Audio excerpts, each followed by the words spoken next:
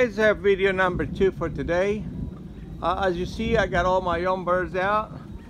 All my young birds are out. Uh, they're doing really good. They uh, they eating off the grass. You know, there's nothing you can do about it. That's my last one right there. He's trying to fly it around and everything. Uh, let me show you what happened. Uh, like I say on my the last 200 mile race, I had um, 25 birds I put in the race. I came in 139 spot, and uh, and I was missing two birds, and I got one bird back, and I show you what the story is.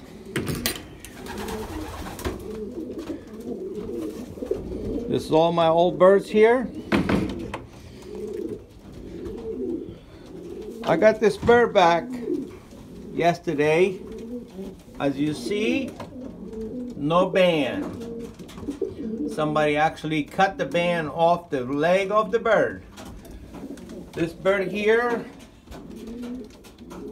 is my 13 37. I've been, I think it's 1337 number, the band. This is from uh, Paul Kaiser birds and 630 bird. That's I breed that bird. And as you see, the bird is tired. Came home yesterday. Five days on the on the road. As you see, no bands. Come on, buddy. No bands at all. So somebody cut their bands off. Then they're painting the butt. People do that. It is not sportsmanship.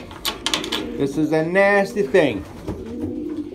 Anyway, here's how I win, win my birds. I put them in a cage because I got I got five months old babies that are they ready to, to have babies and they won't let them eat. So I put them in there for five days and then I let them go. They're strong enough so they can fend themselves. So, I mean, the bird is to be okay. One of my favorite birds.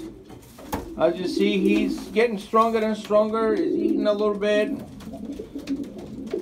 I couldn't figure out what bird it was. Let me get a little closer.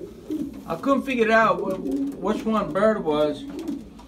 But as you see here, that bird right there look exactly let me get over here.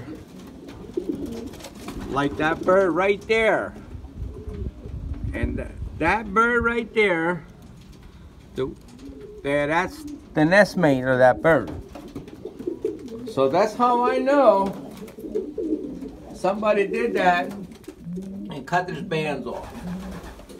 That's very bad sportsmanship. That bird is not going to be any good for me anymore to fly around the loft and that's all I can do and and you know to uh, actually have that bird you know that's a cock bird actually. You see how small he got he got really tiny. But uh, as you see he still has this white wattle. His colors is there. He's eating okay. I medicate him this morning with the with the single tablet. I use um, Tony's Treasure tablets on my birds singly for five days when they come back from the races. That little bird, you better get out of here. Um, look like we're gonna have some rain here. Those little young birds were flying this morning like crazy. So just to, just to piss me off, you know, you get the bird for two years, you, you feed them, you train them, you take them away. They made a mistake, they go to somebody else's loft.